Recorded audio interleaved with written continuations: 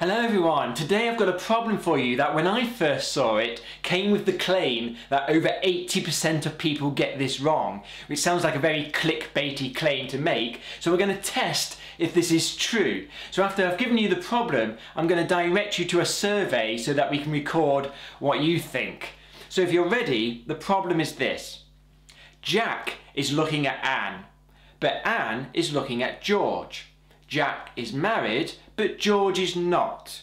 Is a married person looking at an unmarried person?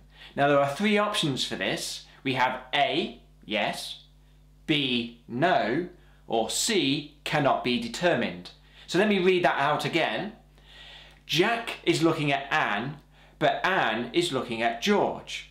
Jack is married, but George is not. Is a married person looking at an unmarried person? A. Yes. B. No. C. Cannot be determined.